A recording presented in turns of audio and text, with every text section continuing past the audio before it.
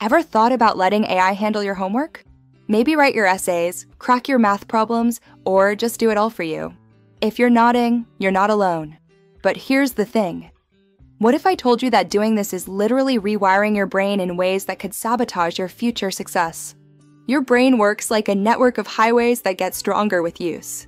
When you struggle through problems, you're literally building new neural pathways, your brain's superpower called neuroplasticity.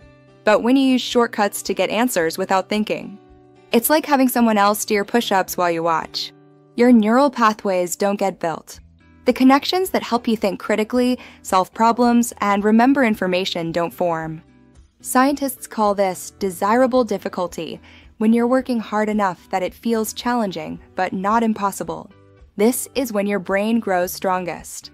So when you let AI write your essay, you're missing out on building the neural networks for critical thinking, clear communication, and problem solving, skills you'll need for life, not just this assignment.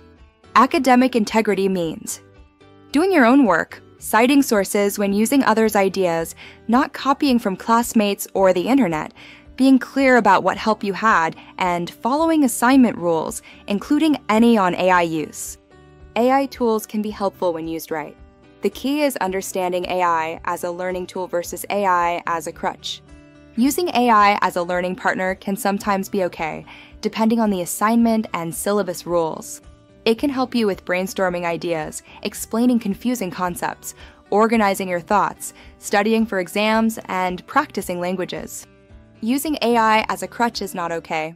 Examples of this include writing your essay, solving homework problems for you, taking quizzes or tests, researching without you checking sources, and generating work you submit as your own. But every class has different rules.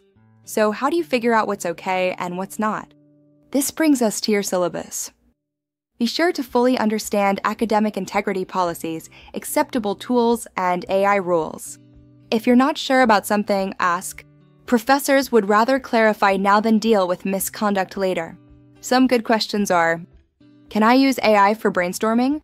If I use AI for grammar checks, should I cite that? What resources are allowed on this assignment? Can we collaborate, and if so, how?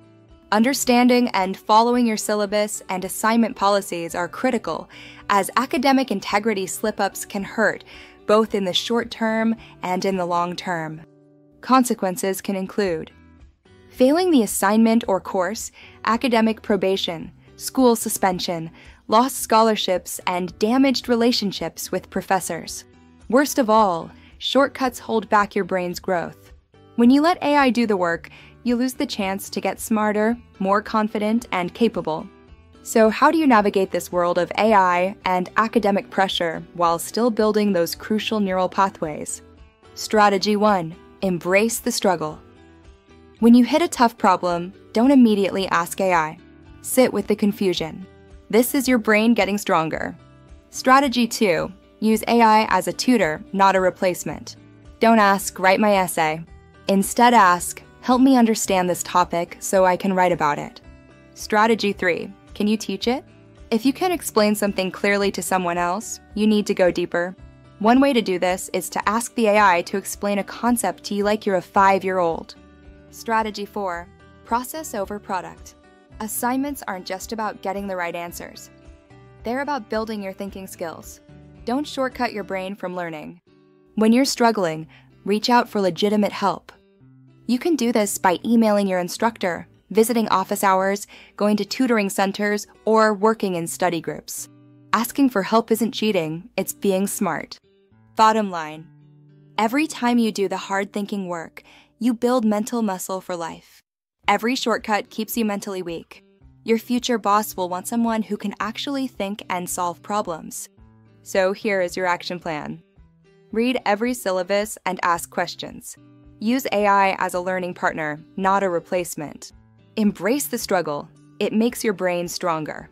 Seek help when needed from professors and tutors. Remember, academic integrity isn't just about rules, it's investing in yourself.